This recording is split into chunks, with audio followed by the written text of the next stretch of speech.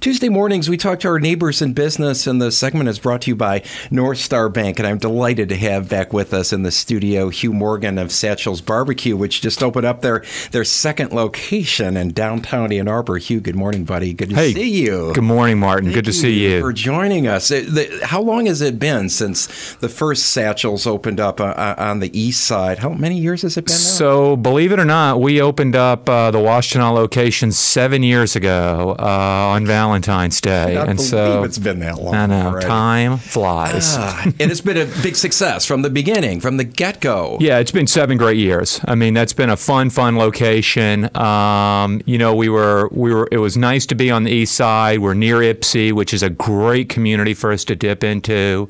Uh, a great barbecue loving community. We're still right in the heart of Ann Arbor. We're right on Washtenaw, kind of tucked away a little bit behind that Verizon store, uh, yeah. but it's People worked out great. It's just been a fun, fun, fun location. What, what's your background? How did you get started in the restaurant business? So that's a that's a long sordid story. Uh, so uh, I actually my background is in business. Um, so I was in kind of banking and real estate uh, for a number of years uh, for my entire for virtually my entire adult life. I came here for uh, school and just ended up staying thereafter. At U of M? At U of M. Mm-hmm. And then uh, I'm originally from Alabama um, and uh, Birmingham. And so uh, when the mid 40s, kind of when that 07, 08 uh, Great Recession came about, which was so much fun for many of us in the, oh. the banking and finance industry and for many of us everywhere. Oh, right? yes, for right? me. Yeah, right, absolutely. Quite was, a roller coaster. Yeah, yeah, yeah, missing those days. Hey, they may be back. Who knows? Who knows? Just stay tuned. Um, so that was really an opportunity for me to kind of reevaluate and think about what I wanted to do. I was 45 at the time.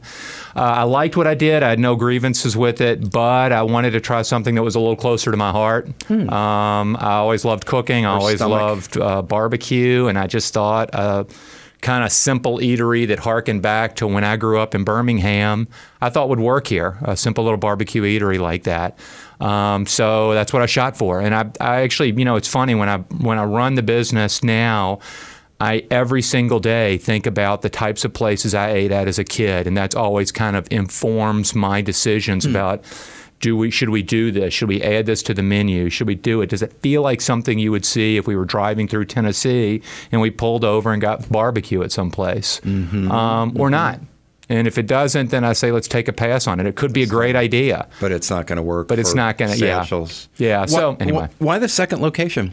I'm sure you got your hands full keeping one restaurant going. Yeah. As successful as it is. Yeah. And and what led to you opening uh, the new place on West Liberty? Yeah. So there's a little bit of an out of the frying pan into the fryer type feel to it right now because we're several weeks in. I like that. you know. So, uh, you know, I just I like the idea of it. I think when some uh, well, I like you know the the first restaurant went well, and I just thought I've got really good, young, energetic people working for me.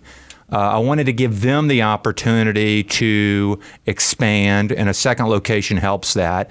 I thought the idea and think the idea will work. Um, so a second location's been something I've been working on for a few years. Mm. The downtown spot was not something that I was dead set on by any stretch of the imagination. Uh, but it became available, and it's uh, it's a little scary to work in downtown because there's just so many great, great uh, restaurants and eateries downtown. Um, but I thought I'm going to throw myself in the ring and see how we do and, and have some fun with it. Um, so it just came about really as a result of a long sequence of searches. When that building became available, I jumped on it. 221 West Liberty, the locale of the the new um, Satchel's Barbecue, which opened up on uh, Valentine's Day. Um, hours and uh, uh, are you open so seven days a week, six days a week? Uh, well, right now we're we're still trying to figure out the hours for downtown location. 11 a.m. to 9 p.m. right now. That uh, six days a week, closed Sunday at the downtown location.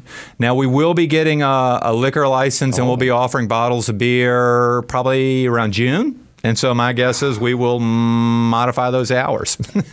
Beer and barbecue, what a combination! it's it's a it's a beautiful match made in heaven, in my opinion. It truly is.